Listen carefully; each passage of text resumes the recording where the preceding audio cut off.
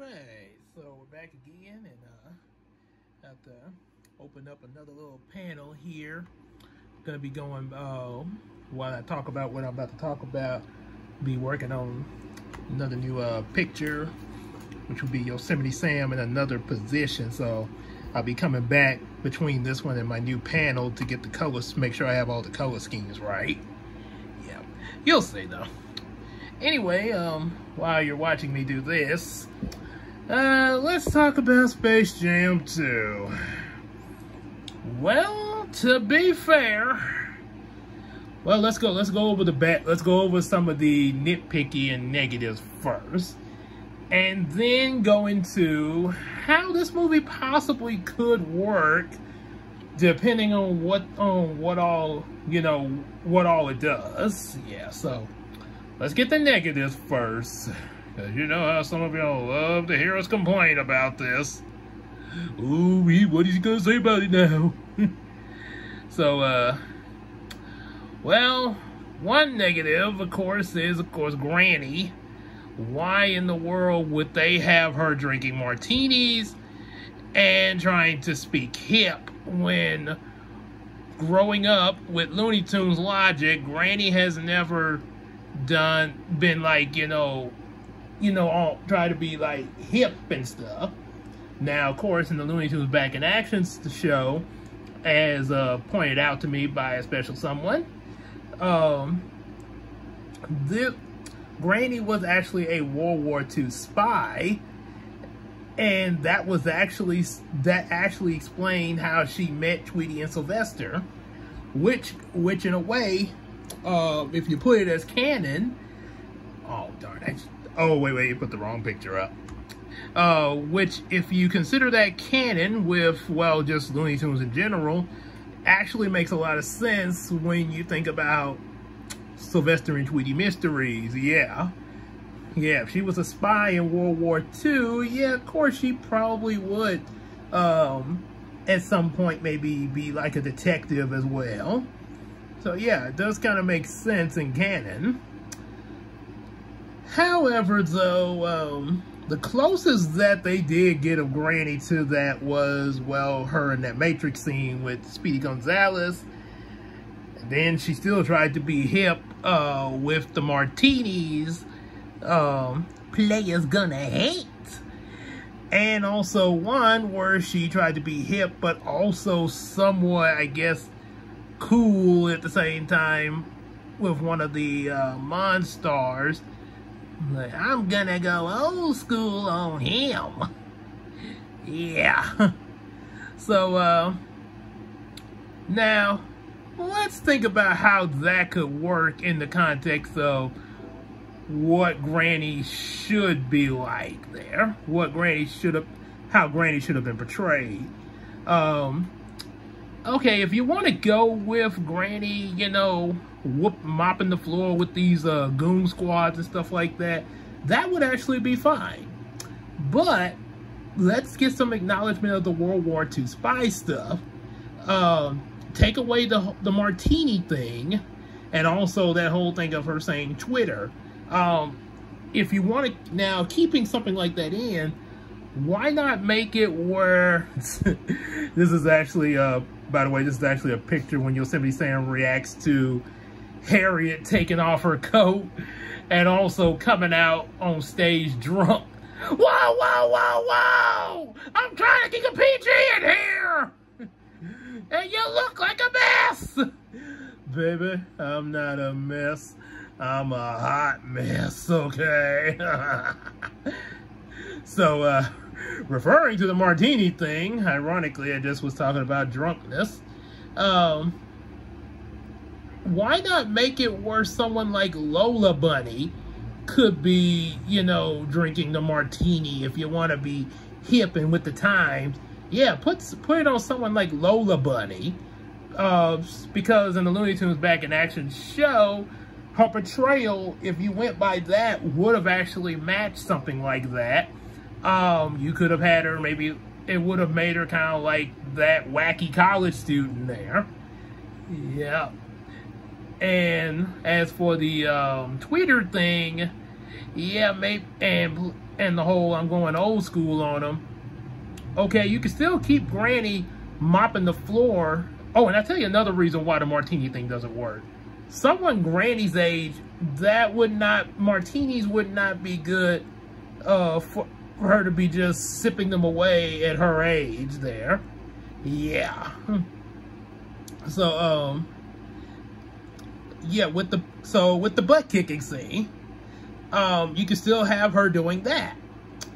But in the Matrix scene, let's say, okay, let's say if maybe as a reference to Sylvester and Tweety Mysteries, you maybe put Sylvester and Tweety at the computer, and Sylvester says, um, when they, when the police say freeze, and Sylvester would say, can't the can't the putty cat check his Twitter?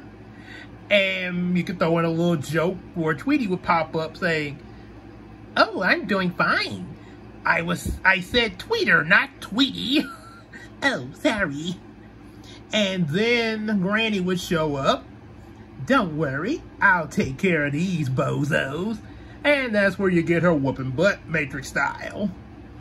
Um, you could keep Speedy in there if you want there. Um, maybe maybe like a tag, maybe the two of them tag team, um, like they did in the scene, if you want to do that. Because uh, I'm not gonna lie, Speedy actually was Speedy was real good with reenacting the Matrix.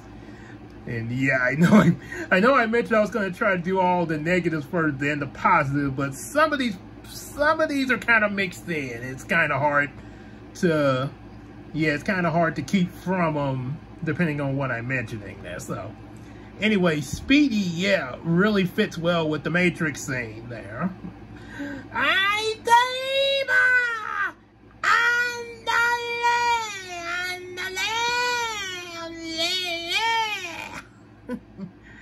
so yeah, it definitely would work with Speedy. Um, tag team with Granny. And here's a little something that can be added for either that Matrix scene or even with the basketball scene, which would be really, which actually would be funnier in the basketball scene, but you can still do it in the Matrix. Um, maybe you could do it twice. Um, why not when uh, when Granny's whooping tail with these uh, with the goons in both Matrix and basketball? Maybe she take out like a golf club or something and just go postal on them and the reason LeBron and Bugs bust in there, because they have to hold her back. You could even have Daffy with them. And, you know, a funny little joke of him getting hit with the golf club. you know, for a little shot at Daffy. and they'd be like, whoa, whoa, Granny, Granny, Granny. I was in the World War II. granny, Granny, this ain't the war. We're not in the war anymore.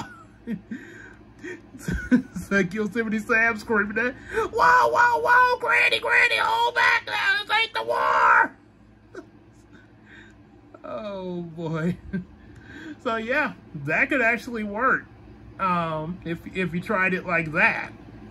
Um, and it could, and like I say, it could definitely work with the basketball scene, because then it'd be like, Granny, we're not in World War II. This is, we're just playing basketball. you know? So, yeah, LeBron and Bugsby have to hold her back once again. Yeah. So, uh, well, I got this picture done of, of Yosemite Sam's reaction. and his hat. And you don't see his hat in this picture because it flew off his head. yeah. So, uh, let me save it real quick. So, anywho, uh, so with that said, yeah, um, I think that's pretty much the, I think the other negative of the movie is the virus that, um, I think post that, what's his name, Don Chico, Cheeto is supposed to be playing, uh, guy who played War Machine and also Donald Duck in a few episodes of the new DuckTales there. And a few other, a few other things, and also, um, Fresh Prince as uh, Ice Tray. So, uh, anyway, with Don Chico's character playing this computer virus, Uh, this was also suggested to me. Um, this was also told to me um, by uh, by someone as well. Why not have done Cheeto? Uh, che I I swear I'm mispronouncing his name. I I know I probably am. Um, why not have him if he's this if he's a computer virus? Uh, why not he take on multiple different forms throughout this movie? Um, say for instance, he could warp. He doesn't have to just be live action most of the time. He could be pretty much like what Robin Williams. Oh, sorry. Like Robin Williams' genie, how he was doing all that shape shifting and stuff like that, or or the mask was doing, uh, the Jim Carrey mask. So why not have him like shapeshift into different forms throughout the throughout the scenes that he's in the movie? Matter of fact, you could even play with the animation style with this computer virus. He could turn to, he could be animated, he could turn into a claymation, uh, some mess, um, you know, just all kinds of things. Yeah, just go crazy because it's a computer virus. Yep. Uh, you see yelling at Harriet. All right. But yeah, just go, just go crazy. And speaking of animation, um, mixing in another positive, the animation of Space Jams 2 is great. They, when they're animated, you know, especially LeBron James, like, I'm a cartoon. Oh, oh, I'm sure. Oh my God. Uh, was it, um, I'm sure, I'm sure, I'm sure that Kevin Hart and then did that thing where he expanded his legs and stuff. And Bugs Bunny shows up. Yeah. What's up there? Bugs! Give me some love, man. Because apparently he's a big Bugs Bunny fan. But they look great when they were animated, you know, the animated part. And then they have to turn to CGI for some reason. Okay. Don't, don't. I, the CGI is not, is actually not that bad. Wait, wait, wait, wait, before you boo me. Just hear me out. Nothing to bring up something else here so I can start. Uh, the CGI is actually not is not that bad, and it's not. But the only reason that the only re, uh, reason I nitpick on it is because I feel like. Let's see. I'm gonna have to open up another panel for this because I feel like instead of switching to the CGI, why don't they just stay animated for the whole movie? The the Looney Tunes and uh, LeBron's character, because that let, us because with the first Space Jam movie, you know we had Michael Jordan uh, was live action amongst um, cartoon uh, characters like Bugs Bunny and all that, so it was sort of a Roger Rabbit like effect. Here, they when LeBron James enters he doesn't come up there live action amongst a bunch of tunes. He's animated himself, which actually I which actually is not a bad idea. And I really would go with that if they would stay with that. Yeah, instead of switching to the CGI, just stay with it like that. When he's with the tunes, he's animated.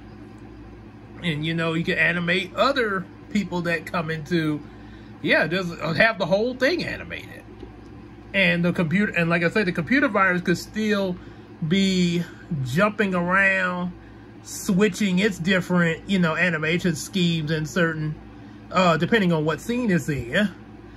But yeah, as for the tunes and all that, yeah, they def they can stay uh, animated through most of the movie.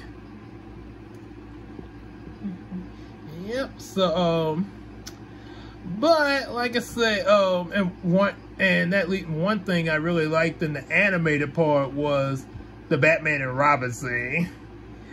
Like, oh man, I can't, I can't wait to see what I'm gonna be. I'm, I, am i I'm going to Metropolis. I can't wait to see what I'm gonna be here. Da da da da da. Robin? I'm Robin? And why are we chasing a runaway train? Because, Doc, where there's crime, there's superheroes. Sort of kind of remind me of how Jim Carrey Mask said it, uh, the superhero part. Yep. So, um, so yeah, that, yeah, if it just stayed animated. Um, a lot of people seem to have a problem with, oh, great, gotta, gotta go and fix this here. A lot of, and by the way, this is a picture of Yosemite Sam having his hat pulled over him entirely, and nothing, and only thing sticking out is his boots and mustache. okay, so, um, anywho, um, one other uh, apparently people have a problem with the Porky Pig rapping thing. Um, it, it's all right, you know. It's, I mean, I'm not saying it's a mass. It's completely a masterpiece. I I get what they're going with. I don't really. It doesn't really bother me having Porky Pig rap uh, like it does a lot of other people. Uh, the only thing. Uh, it sort of sort of makes me think of Mushmouth in the Fat Albert movie, uh, when he was doing his little thing to the Fat Albert song, like no no no no no no, gonna have a good time, yeah, boy, baby. That's some some some some I don't know what I'm saying. Oh, oh okay. Well, I'm going to think maybe better, but better. And uh, better, better, better, better, better. Well, I don't think I want hold my thing. I'm gonna hold my hand, just shaking my thing. Oh, uh. La la na na na na hippity hippity bo bo. yeah, it was actually pretty funny there. Um, Porky Pig, yeah, okay. Man, I, because of that, I kind of can see the appeal of why you would want him to sort of be your, your, your, uh, your big main rapper because of the stuttering thing there. yeah, well, that's all, folks yeah, so, um, yeah, I kind of can get that. Um, a lot of people, like, again, a lot of people aren't going to be as merciful with that as I am. I mean, it's just, you know, it just doesn't bug, it doesn't really bug me there, but, yeah. Um, yeah, oh, also, so, yeah, I guess, I guess I, I kind of pretty much point out some positives with it, some negatives and positives, huh? Well, uh, only other thing, only other things I can um, say at the moment, um, you know, before it comes out and everything, um, I think Zendaya's gonna do a good job as Lola Bunny. Um, seem like I've heard her voice a few times in the trailer. Uh, it sounds pretty good. The um, what you? Oh yes, there is the whole thing of why uh, going around of why the actors for the Looney Tunes were not credited.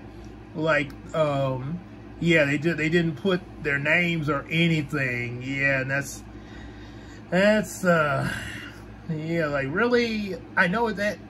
Yeah, animation and all, but you still got to credit your voice actors. Come on now. So, yeah, that's kind of a, a kind of a big negative there. Um, yeah, because the, the, only one they gave credit to was Zendaya uh, for her role as Bugs Bunny. What, the other people who play in the movie don't deserve their names mentioned there? Yeah. Oh, boy. So, um, so yeah, kind of a good, kind of a, like I say, uh, it's not, not, I'm not, not so much, you know, coming down on Zendaya, because I know it's not really her fault. Um, again, like I said, I think she'll do a pretty good job. It's it's the people working on this movie that you know really should like why.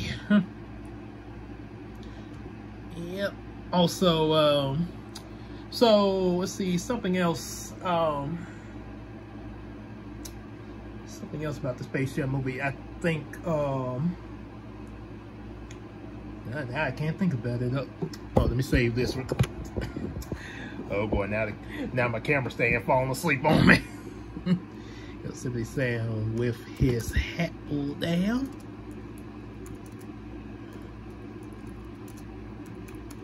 There you go. Yeah. I think this I think this happened quite a bit in in cartoons involving Yosemite Sam. yeah.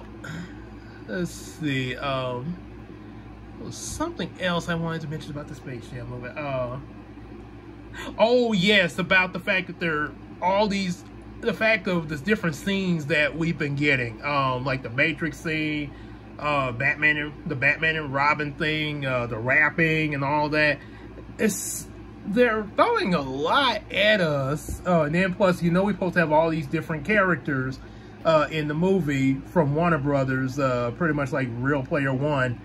Um, it feel it's not. I don't think it's a bad thing, you know, doing all this. I mean, you know, Looney Tunes are known to do a lot of things. I mean, Looney, I mean, they're Looney Tunes. You know, it's kind of their thing to do a lot of things. Um, but the only kind of thing uh, that's kind of questionable is is this a Space Jam movie or is this Back in Action too?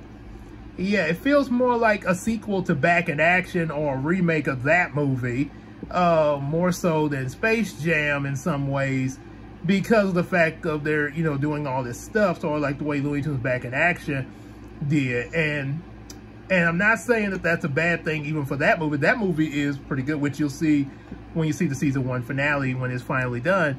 But Back in Action is a is not a bad film. It's actually pretty good.